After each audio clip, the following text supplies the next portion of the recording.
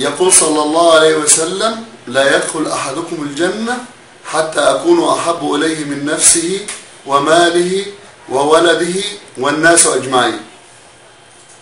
تمام؟ كم حبنا لرسول الله؟ وهل الحب حب اتباع واقتداء بسيدنا رسول الله؟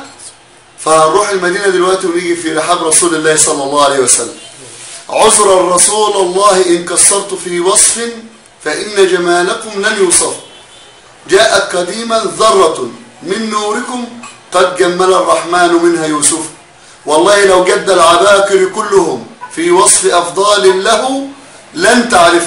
والله لو ماء البحار بجمعها كان المداد لوصف أحمد ما كفى والله لو قلم الزمان من البداية للنهاية ظل يكتب ما اكتفى والله لو قبر النبي تفجرت أنواره لا البدر ولا واختفى تكفيه لقيا في السماوات العلى وبحضرة الرب الجليل تشرف.